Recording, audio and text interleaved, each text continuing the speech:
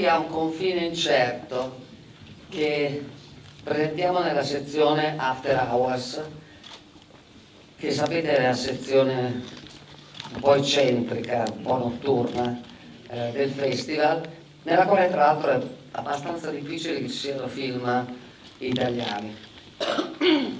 Scusate.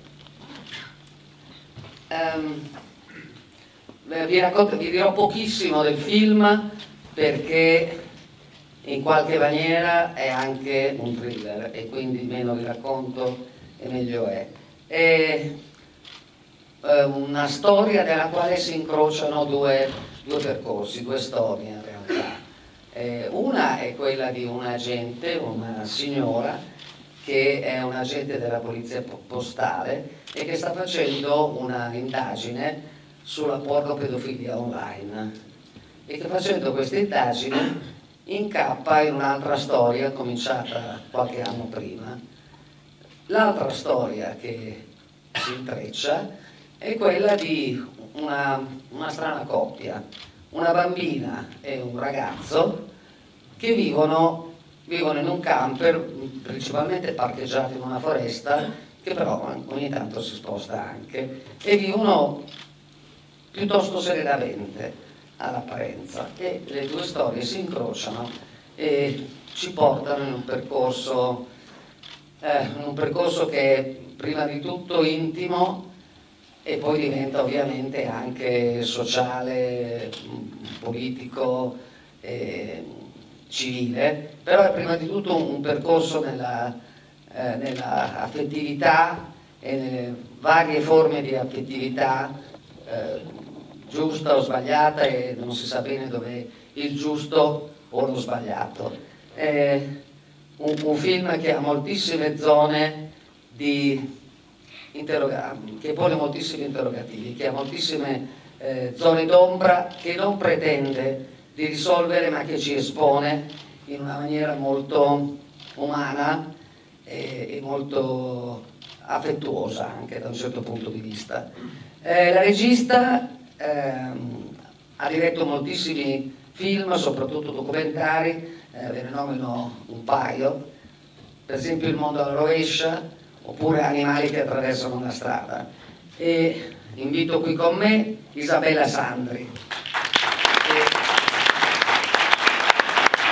insieme a lei i produttori Peppe Gaudino produttore e co-sceneggiatore. E poi due degli interpreti, Moisè Curia e Anna Malfatti.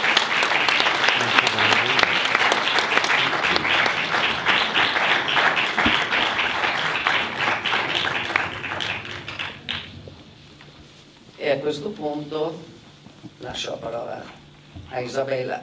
Ecco venite un po' qua. Okay. Innanzitutto vorrei ringraziare Manuela Martini che proprio animali che attraversano la sì, strada sì. alla Biennale di Venezia del 2000, sì. selezionato da, sì. sì. E, ehm, e, poi eh, vorrei tanto che si parlasse di Moisè Curia e di Anna. Ho e sbagliato la pronuncia, Curia, ok. Sono stati bravissimi, proprio veramente degli eroi e quindi vorrei che dicessero due parole di presentazione. Dai, faccio parlare prima te. Oh, allora, sei una bravissima attrice quindi riesci anche a parlare. Mi è piaciuto un sacco girare questo film con Moisè Curia e Isabella Sandri e Beppe e con gli altri vari attori. No, io io ci tengo a dire che è un film, eh, un film, a cui tengo molto, uno perché c'è stato un lavoro lunghissimo su, su, su, questo film, su questo personaggio e su quello che volevamo raccontare di, di Ricky.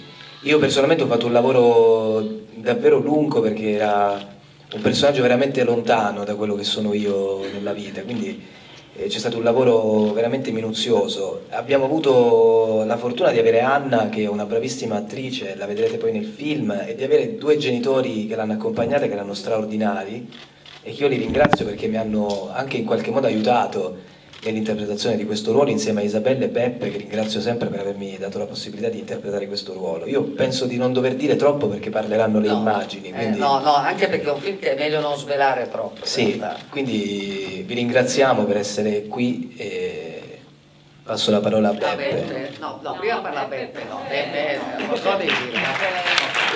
Un produttore incredibile. Produttore con sceneggiatore una cosa che posso dire è che il tema che raccontiamo è un tema che è necessario parlarne perché apparentemente sembra distante ma è molto vicino a noi. Stamattina abbiamo una notizia poco felice che anche in questa città è successo una cosa del genere e quindi può sembrare un tema scomodo ma dobbiamo fare i conti con questa realtà. Abbiamo delle eccellenze in Italia, il CNCPO e altri organismi che si occupano di questo e ci proteggono ma dobbiamo parlarne perché la trasmissione di queste informazioni aiuta chiunque, genitore o non genitore, ad avere un occhio di riguardo verso chi è il nostro futuro, chi sarà la nostra provvidenza e quindi è meglio preservare questa dimensione sociale.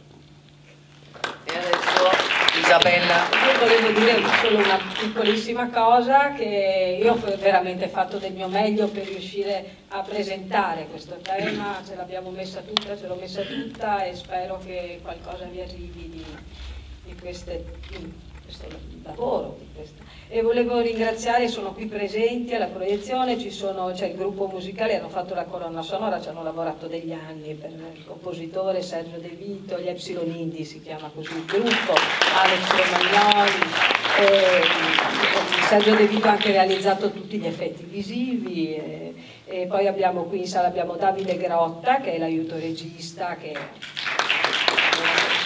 una colonna portante. E poi l'organizzatore generale Roberto Gabbacorta qui presente. E, e, poi volevo ringraziare anche i commissari in capo, dottoressa Sara Pistilli, portavoce della Questura di Torino, il dottor Francesco Severio Bacco, del Compartimento della Polizia Postale e delle Telecomunicazioni di Torino, perché li ringrazio? Perché ci hanno veramente aiutato tantissimo sia nella fase di scrittura e di indagini, ci hanno permesso di lavorare, di vedere come lavorano gli agenti sotto copertura e ci hanno permesso addirittura di girare nelle location vere, quelle che vedrete sono veramente, è veramente la sede del Centro Nazionale Contrasto Pedofilia Online, sono veramente aperto le porte. E poi anche Save the Children che ci ha supportato, aiutato già dall'inizio e ci ha permesso appunto di avere eh, non solo i dati ma anche gli incontri con gli psicologi che lavorano da sempre su questi temi. Eh, ringrazio moltissimo Emanuele di essere qui proprio, sono molto felice che ci sia l'occasione. Rai Cinema anche, no, la produzione l'avevo come... Allora, chi ha prodotto questo, questo progetto sin dall'inizio è stata Rai Cinema nello sviluppo della sceneggiatura e anche la Film Commission dell'Alto Adige, ma veramente era un tema difficilissimo che era un terreno molto scivoloso tutti volevano, non, cioè è stato difficile trovare i soldi, è stato difficile, ci sono voluti anni, Abbiamo avuto però il sostegno della Germania, di un coproduttore tedesco, di Rimage, abbiamo poi alla fine raccolto tantissimo nel tempo e tutti erano motivati perché volevano che questo film si facesse. Ci è successo di tutto ma alla fine ce l'abbiamo fatta, ecco siamo qua. Eh, sì, eh, eh, volevo aggiungere solo una cosa, è un terreno scivoloso e alla fine ce l'hanno fatta anche perché eh, Isabella è riuscita a non fare un film che è un pamphlet, un manifesto, un disco, è riuscita a fare un film che veramente racconta delle storie di dentro, eh, e non è il manifesto politico, ecco, è molto eh, intrigante. Grazie. Grazie a voi. A dopo sì, siamo, se volete fare domande di qualunque tipo, noi ci siamo dopo. Sì, sì. Ok, va bene, grazie a tutti e buon divertimento.